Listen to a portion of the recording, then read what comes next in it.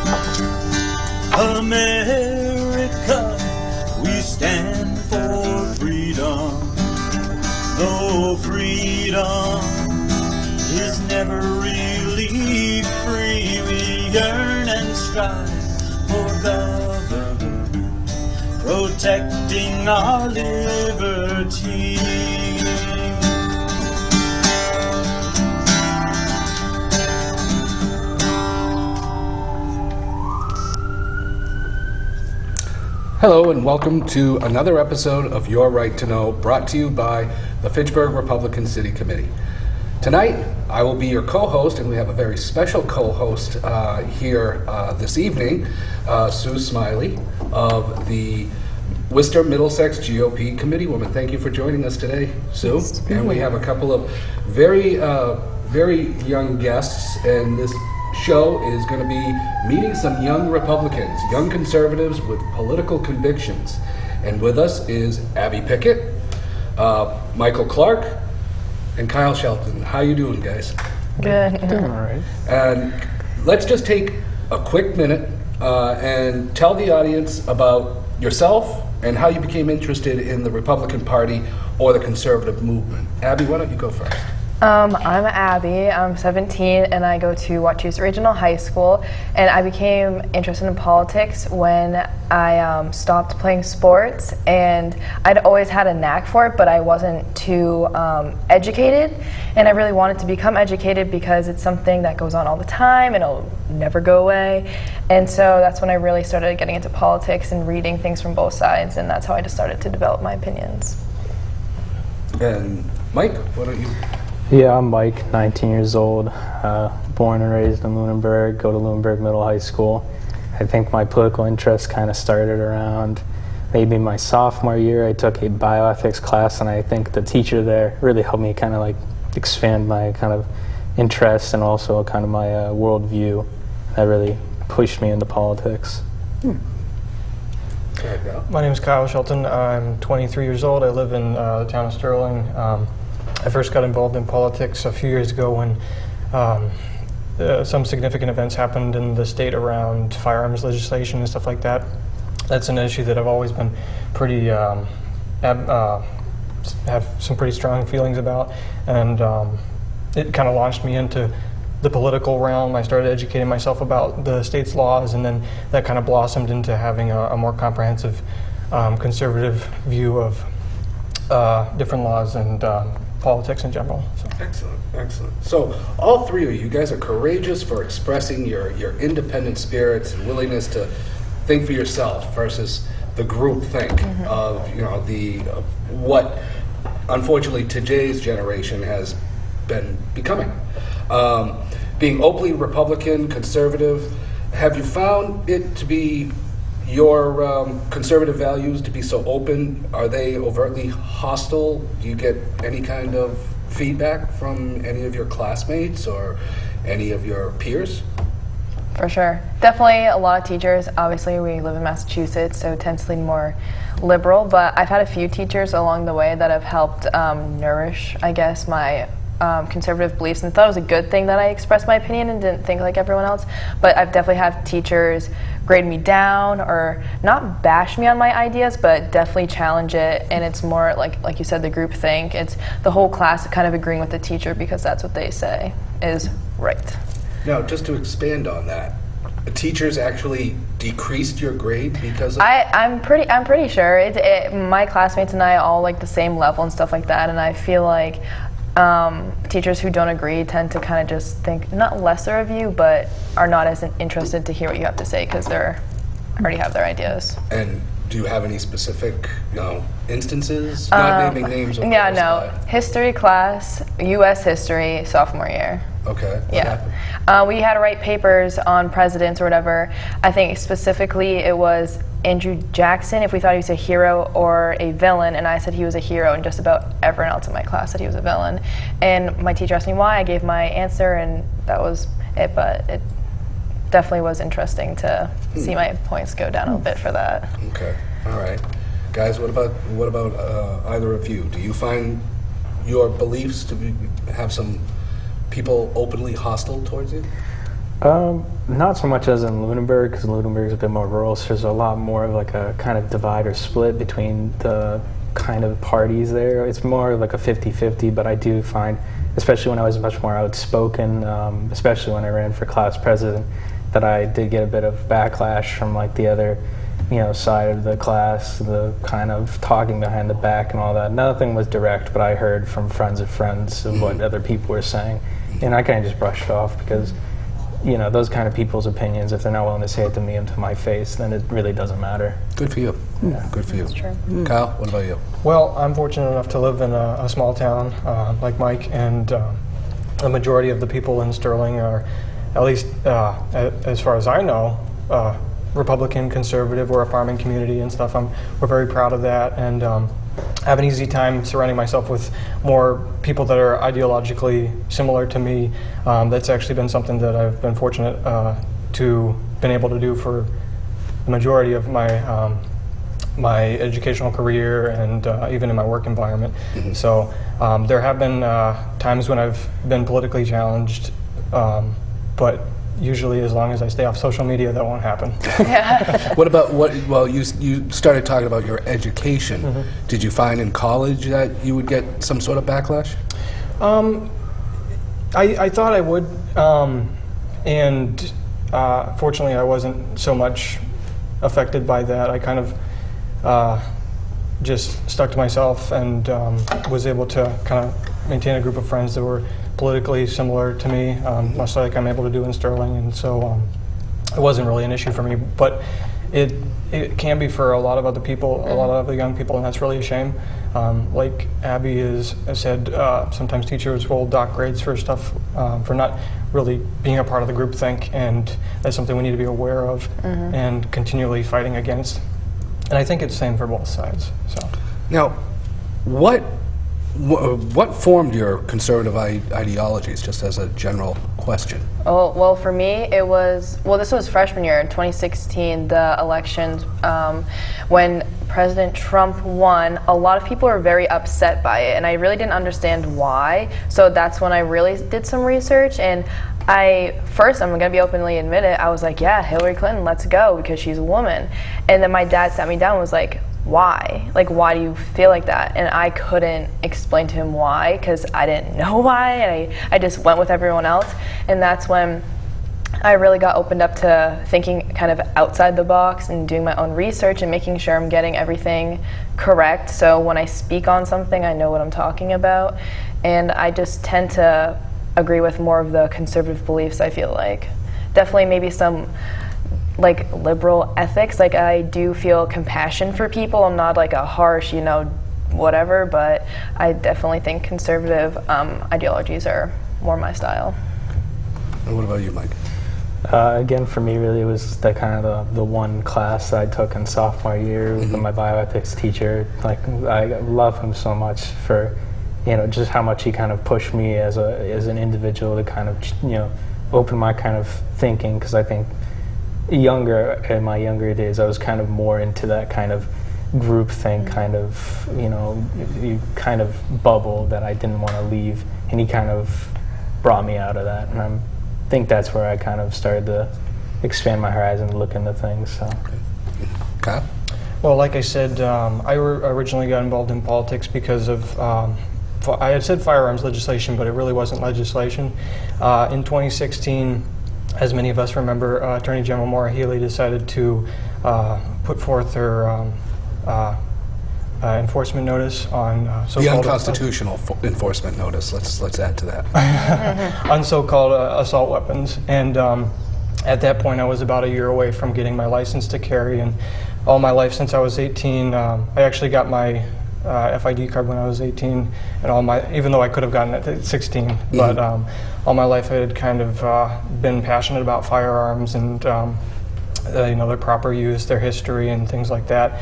And so there was a few um, firearms that I had on my uh, to get On your bucket list? Yeah, on Yeah. my bucket list. Yeah, and um, unfortunately, those actually went out the window in 2016. Um, so uh, it made me upset. But instead of saying, you know what, this is too big for me to take on, uh, I'll just you know ignore it or move out of state or ignore it, which would be even worse. I decided to do something about it. I educated myself. I decided to start testifying before uh, the different committees at the State House on upcoming firearms legislation. Um, I joined the National Rifle Association. Um, I'm almost uh, almost there uh, paying off my lifetime membership. So I also joined the Gun Owners Action League, and um, it really it really spurred my entry into the political realm, and I became uh, I went from a one issue, um, you know, political advocate to uh, um, an educated multi-issue platform. So. You know, it's funny. I, I, it actually segues that segues perfect into one of the questions I wanted to ask, in that you know you you decided to not be defeated, to not get discouraged, and I think that's what I'm hearing from all of you. How do you encourage other peers, you know, or, or your other friends that might differ from you, or friends, family? Um, how do you how do you encourage them to stay involved, to fight the fight, to um, represent the principles that you guys believe in? Do you, do you think that um, young people as your age, uh, you know, feel that courage to press on, or do you think there's a lot of intimidation going on? Like I'm, I'm, I'm thinking, kudos, Kyle, you really embraced it. But what do you guys think? I mean, have you you had one teacher that was very influential. Have you been able to influence others? You know, I mean, that's kind of what I'm, I'm, I'm wondering about. I mean, I'd like to say I have. I like to talk about it openly, and social media definitely plays a big part in it. And I'm not afraid to input my comments or concerns because it's a lot of uh, headliners that'll say one thing, but you don't actually read it or understand what it's about, and people republish it or post it and not really know what it's about, and you have to get educated on it. And I'll post something or explain what it is, and then people are like, "Oh, really? Is that what it's about, or this or that?" And it's really, really important to make sure you get all the details before you speak on something. Yeah, you're right. And unfortunately, on social media, a lot of people Oh, I know. will speak and have no idea what they're talking But about. specifically on abortion, when that was going on, like a big thing, like last month or two months ago, the whole school was talking about it for weeks on end, but they didn't really know what they were talking about. They just were talking about what they saw, I mm-hmm. guess. They didn't really inform themselves on the situation. Yeah, Mike, I, I think you're you're heavily involved in the Scouts, right? Yeah. So, I mean, I, I wonder how you feel you see other people in your peer group there. Is there? There is a bit more difficult because I kind of started to distance myself from scouts once I got my eagle. What's about a year ago. Mm. I think for a lot of people though, like kind of saying opinions that are kind of unpopular, even if you truly believe in them. A lot of people are kind of scared of like the real life repercussions, you know, job opportunities lost, stuff, and beyond that, a lot of you know repercussions. So a lot of people aren't, you know, totally encouraged to say th- what they think. Um, I think for a lot of people, that's one of the main concerns is just the actual repercussions that they can get from saying that. So. Yeah, and I would think that would weigh heavily on you as you're all thinking about what college to go to. You know, do I choose a campus where I feel I'm going to really excel and be a free individual, or am I going to be um, censored and constrained? So, uh, yeah, um, Kyle, any thoughts there? I mean, you're a little, little older, but um, have you run into that in your peer groups? Uh, I have run into it, um, and uh, I think it's important to remember for young people to remember that no matter what, and I mean, obviously, there's a, a time and a place, and so it's appropriate to kind of weigh your comments and to um, to the appropriate audience and, and everything. But uh, there's also, like it happened for me, there's going to time, come a time in your life where you're going to have to make a decision either to stand up for what you believe in and advocate for what you believe in, or to kind of sit back and watch things happen. We are going to, as young people, inherit this country. and if we don't stand up for what we believe in now, then we're not going to be able to later on. And that's something that we got to always keep in mind. Good point, good message, absolutely. Now, Abby, very quickly, you're you're a conservative in high school. Yeah. Okay. And from your previous statements and your stories about how you switched, you know, it was freshman year. Yeah. So, did you lose friends uh, because of that switch? Well, it wasn't up until this year, junior year, that I actually not maybe lost friends, but had a lot of disagreements with people. Um, my friend Zan, who's not here tonight, she and I and another girl, actually, it was three of us, kind of started a group called the Young Republicans at my school, and there was a total of six of us with the 2,500 kids at Wachusett, and. Um, we have I, I mean i mentioned this before we put posters up and stuff and they all got ripped down. And when we became really public about our group we made an instagram page. We posted stuff very respectful manners by the way. And um, then people have definitely said some stuff and called us racist or fascist for no reason. And that stuff does get to you after a bit but you can't really show it that it gets to you. But you can't let it get to you. yeah but i've definitely have gotten um, comments made, not necessarily directly like you, but like heard around the school before. So, Mm-hmm. yeah.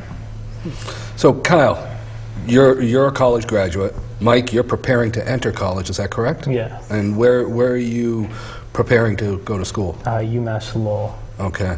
And I know you kind of touched on this, Kyle, you know, as a college graduate, but what was your experience like? You said that you, you surrounded yourself with like minded people, uh, but how did that impact your, your college experience?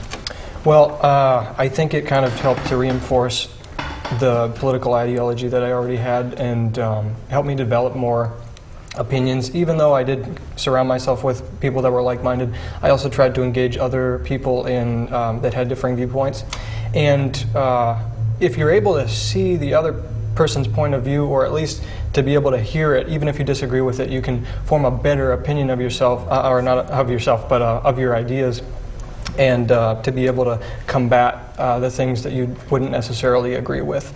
Um, so it just goes back into educating yourself, and sometimes that's done through engaging differing ideologies. Now, in your classes, did this ever become a problem? Um, fortunately, no, it didn't. Um, but a lot of people can't say the same. Okay. Now, Mike, getting back to you, what do you expect your experience to be like at, you said UMass, correct? Oh yeah, UMass Lowell. Um, I'm looking forward to it. I've kind of already like looked into you know um, some of the clubs that they have there, and they do have a Republicans club. So I'm obviously going to join that one once I actually get into the school. You know, set myself up there. Um, but I, I haven't gone to some of the introduction um, kind of ceremonies and stuff, orientation being one of them. But I have friends who are going to ULO that have already gone to that stuff, and stories I've heard, it's probably going to be a lot more kind of constrained on what you can and cannot say in the kind of the public realm at the school. They seem very bent on, you know, no, no, like to unpopular opinions. So no So- Trump hats is what you're saying. Probably, not really, All just right. because it may make a few people or a lot of people mad. Okay. So. Um, you guys hear the hot button issues. Abby, you mentioned abortion. Yep. Kyle, we know you're big, big proponent for the uh, Second Amendment. Um, we talk about immigration, term limits. Um, what do you think the big hot button issues are of, of your generation? Um, the Democrats look at issues such as impeachment and corruption as major issues. Um, you know, providing for the um, folks coming in across the border. And I think we were supposed to count how many times children were referenced in the debates last night. So um, I'd like to ask you guys, you know, what are your issues and what do you think is important? Uh, I'm sure you're happy to see jobs and the economy happy, but I, I, Kyle, I know you're. What do you think? What do you think people Well, want to? I just want to say it's really sad that these people care more about people who aren't citizens here and their well-being rather than the citizens here and their well-being. But hot button issues, definitely abortion's a big one for my generation. All the, at least the feminist labeled girls at my school. Um, immigration definitely is a big one. Um, That's well, um, a Second Amendment for sure. They definitely don't like guns, and you could sit there and argue back and forth all day, but you can't really change their mind about it unless they're educated. But those are definitely some big ones. I think that. Oh, and climate change too. Climate change too. That's a big one. Everyone's like, save the earth, but they continue doing But, what but they're what do you think, what, like, what do you talk about in your Republican club? Like, what, what are those hot buttons? Usually, uh, current events that kind of go on within that week, kind of uh, issues that happen. We talked about illegal immigration a lot, and as a group for our school newspaper, we wrote a counterpoint to why we believe that building the wall is a great thing to do for the country. Mike? For me, I think probably secondary would be the Second Amendment. I think that's going to be a large kind of debate over the next couple of decades. But I think like more so of a pressing issue for the century would probably be First Amendment rights and kind of how that's being challenged. Because I think in many places around the world, you don't truly have some kind of freedom to say what you want or to believe what you want, especially in places like UK, which you're not exactly reserved to those kind of rights to say what you want, especially when uh, people are being, you know, charged in courts for posting videos on YouTube. Um, I think that, especially since it's starting to creep into places closer to the border, Canada, um, bringing through the new law to basically force or compel you to say what people want you to you to call them. Uh, I think that's a bit silly, um, especially even in places close to here in, in the country. Um, the the baker case was being forced to bake the cake, you know, for the gay couple. I think that really vi- that, that's starting to creep in the territory of what what rights do you have to protect your own religious beliefs, and do, do, you know, does the government have the right to force you to serve somebody business? A lot of this comes down to I think First Amendment issues are going to be probably the biggest deal for the next few decades, if not the century. Yeah, and Kyle, what do you, what do you think? What do you see around your, your group? What do you think they're concerned about? Well, I was actually just having a conversation with a coworker today about um, how really what we're experiencing in America. I, I believe everything stems from this one issue, and it's the degradation. Uh, it's the um, the breaking down of society, and uh, unfortunately, um, at least in this country. Uh, you know, maybe 20, 30 years ago, things weren't the same, but there were certain values that people held, like um, family values. Sanctity of life? Mhm. Yeah. And, and um, kind of the holding together of uh, th- this. Um, I say family values, but it's, it's more than just the family and everything. But now we see um, rampant uh, uh, divorce rates and stuff like that, and that goes into the problem. Um, we see uh, kind of the glorification of violence in the media, in video games and stuff. These aren't really things that we can necessarily legislate, but we've seen somewhat of a breakdown of the value system in America, and uh, I think I really strongly believe that that's actually contributing to the um, to almost a society of violence, uh, to the mass shootings that we've been seeing, to an inability to address the uh, mental health issues that are popping up, and they're not even popping up; they've been They've- persisting and they've been getting worse. They've been around So- for a long time. Exactly, and um, I think what we need to do in America is we really need to come back together, um, start being responsible for the mistakes that we've made, and kind of uh, get back to a, a good place. And um, and it would, talking about specifics, it would it would uh, it would take a long time for me to be able to explain fair all enough. this. Now, because of your, your young age, uh, you're just entering into your interest in, in politics. Um, you're growing, growing up in a time when you see the nation is severely polarized. Uh, you have the right, uh, left versus right, conservative versus liberal, capitalism versus socialism, um, Democrat versus Republican. The business of government is not getting it done. Okay, let's face it. and as you enter into your years of political interest, how do you, th- how would you suggest that we break this logjam of polarization in this country? Wow, that was a loaded question. I think just to educate people, really. Um, I think that'll help. That would help a lot of issues. I feel like a lot of um, the polarization comes from influence from celebrities or even your own family, and I think being able to think for your own and being able to say what you want, I think that would help a lot because that, I feel like that's what helped me. So maybe it'll help someone else. Mike, what do you think? Um, finding middle ground. I think that it, there should try to be like for people to try and put themselves to kind of work towards de-escalation of kind of the differences between people, especially political. I think that there needs to be some kind of common ground that's found between the parties that's agreeable, and which is becoming a lot more scarce when you can't even get budget passed for s- parts of the bureaucracy in the government. Um, even when that kind of is becoming political, there's a lot of. I, I think it comes down just the escalation of kind of eh, dividing rhetoric, especially when you have n- news media kind of putting a you know black and white spin on everything. I think there needs to be a toning down of both sides for everybody to kind of try to work together. I wonder, I mean, we, we, uh, we seemingly could all agree that President Trump's executive order to mandate hospitals to mandate their service costs seems like a, a no-brainer of, of everybody could get behind that, right? Because we all want to know what we're going to pay for our oil change, or we're all, we all want to know what that cost of gas is going to be But per unfortu- gallon. unfortunately for the left, because President Trump Is backs it, Yeah. it's automatically a It's bad wrong. thing. It's wrong. a bad thing, even though it, it benefits Yeah. everybody. What do you think, Kyle? Um, I think that uh, I think that it's very important for us to be able to come to the table, and that's something that's um, we kind of see a lack of right now in American politics. I'd say on both sides, we need to be able to be able to sit uh, sit down, come to the table, and discuss how exactly we feel about certain issues while also maintaining the strong stance uh, on our value system.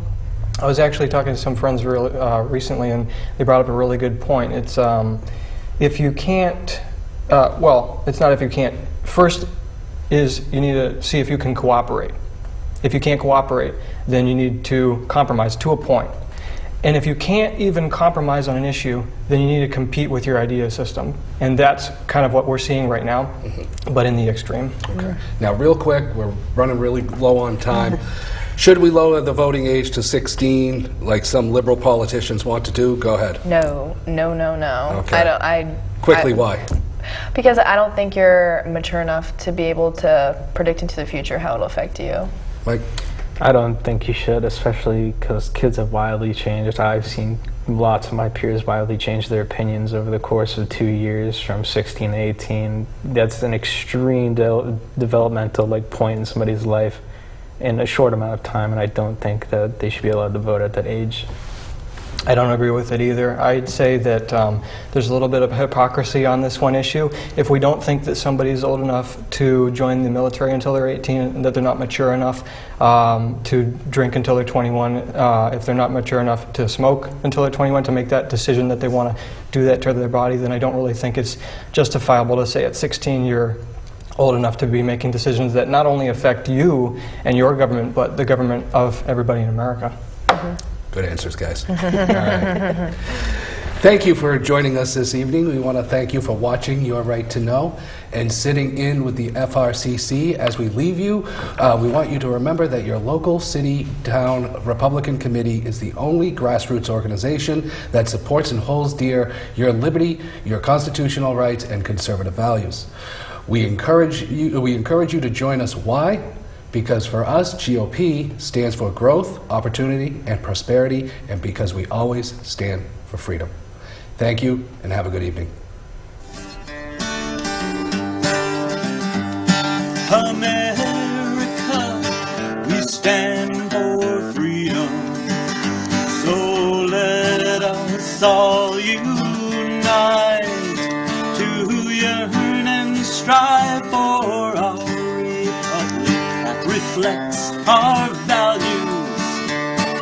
Preserves our rights, and goes forth in power and might, that reflects our values and preserves our rights, and goes forth in power and might.